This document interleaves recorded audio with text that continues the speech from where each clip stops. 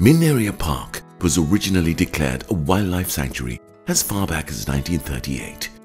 In August of 1997, it was then declared as a national park. The reason for it to be declared a national park is the Minneriya tank or wewa and the wildlife. The tank too bears historical importance being built as far back as the 3rd century CE by King Mahasen.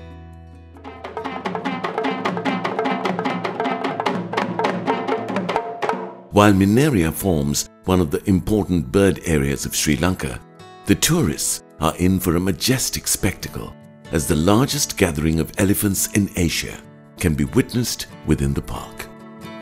In the dry season months, especially during July to September, the water levels in the tank recedes.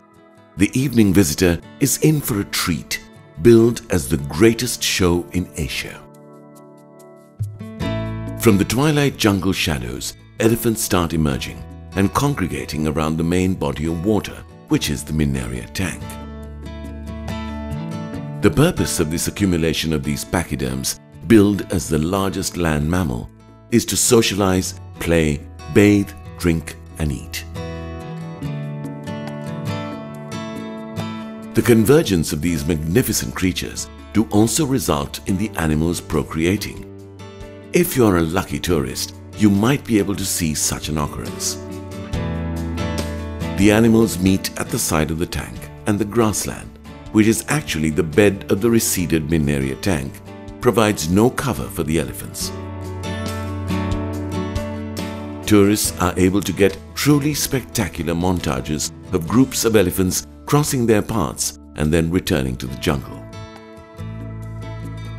The herd sizes vary but during the season of the gathering, you are sure to see sizes of around 200 elephants. At its peak, it's estimated that over 500 to 600 elephants converge at the shores of the tank. The most endearing and special moments to be witnessed are the large number of calves and newborn, some just a few weeks old. As to be expected, the young are always surrounded and protected by their elders who keep a keen eye on them. The elephants which amass around the waterhole are from the surrounding jungles of Polonnaruwa, Matale and Trincomalee. The Wasgamuwa Park adjacent also provides a convenient elephant corridor for their journey to the water body in Minneriya. The elephants then move on to Kaudulla National Park further north where there is a large reservoir as well. But wait, there is more. The park is home to diverse species of avifauna and is also occupied by the grey langur, toque macaque, spotted deer, sambar, leopard and sloth bear and many other mammals and species. It is no doubt that the elephants in the north central area of the country have been observing this migration ritual for centuries. However, as the sun recedes over the Habarana area, you can head back with the certainty of having witnessed the greatest gathering of Asian elephants.